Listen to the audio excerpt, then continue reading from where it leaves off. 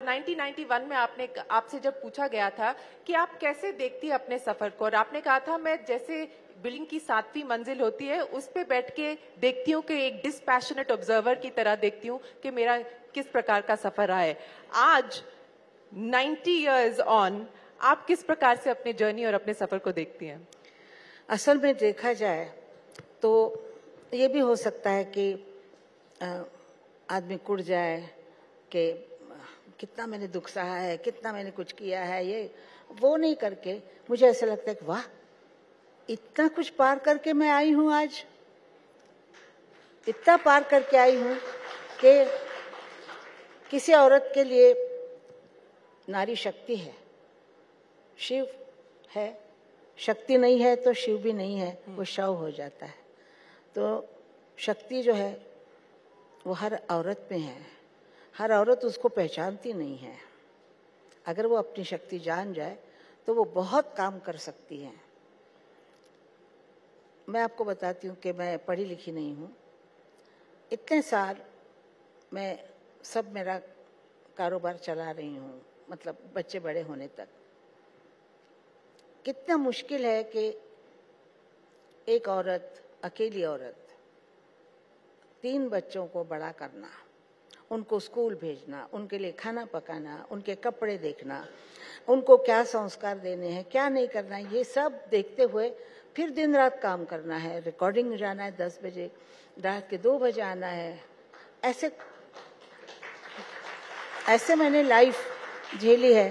फिर उस, उसमें भी लोगों के आपको जानती हैं, ताने वाने सुनना, उसको भी हंस के मज़ा लेके ताने सुनना, करना। और जैसे इग्नोर करना दुनिया को, ऐसे इग्नोर किया मैंने और मैंने अपना काम करती गई। आपने जो कहा है कि दुनिया वाले तो बोलते रहेंगे, दुनिया का काम है बोलना, लेकिन आपने इग्नोर किया और आपको जो करना था वो आपने किया। आपने शक्ति की बात की और कहा कि सब नारियों में ये शक्ति होती है, पहचानने की थोड़ी बहुत देरी लग जाती है। आपको कब पता चला? क्योंकि आपने कहा you were a single mother आप, आपने फाइनेंशियली अपना जो थे अपनी इंडिपेंडेंट थी काफ़ी बिगनिंग से। तो आपने ये जो शक्ति थी आपको कब ये महसूस हुआ कि मैं कुछ भी कर सकती हूँ?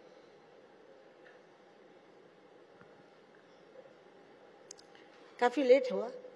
आ, मतलब 19-20 साल में ये मुझे लगा कि मैं जब मुझे मतलब अलग हो गई हो कर दिया फिर उसके बाद मैं अकेली खड़ी थी। सड़क पे। और मैं सोच रही थी, मैं अब कहाँ जाऊँ? कहाँ जाऊँ? क्या करूँ? तो एक अपना गला ही अपने साथ है।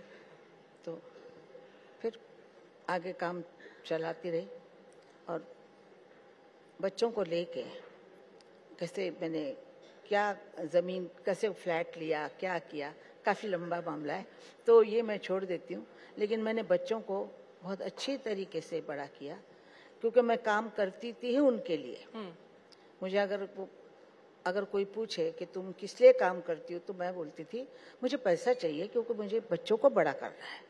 सिर्फ़ गाने से खाना नहीं मिलता है। तो मुझे पैसा चाहिए था क्योंकि पैसा बिल्कुल नहीं था मेरे पास। तो पैसे के लिए मैंने काम किया। जो काम मिला वो करती गई। हम्म। इस बेटे के बाप ने मुझसे कहा था कि दाने फेंकते जाओ, कभी ना कभी पेड़ आएगा ही आएगा, कोई ना कोई पेड़ आएगा। ये उन्होंने कहा था। और एक बात कही थी कि अगर खाना नमक के बगैर हो तो नमक के बगैर खा लेना, लेकिन पड़ोस में जाके नमक नहीं मांगना। तो ये दो चीज़ें मैंने संभाली। इन, उन दो चीज़ों से मैंने किसी के सामने कभी भी हाथ नहीं फैलाया, काम के लिए भी नहीं हाथ फैलाया। और काम करती रही, बस। मैं बोलती थी कि पैसा मिले चाहे नहीं मिले, मैं गाऊँगी ज़रूर। कोई ना कोई पेड़ ज़रूर आएगा। तो ऐसा ही हुआ। कोई ना कोई अचंबे से गाना चल पड़ा और फिर आशा भोसले, सबको पता हो गई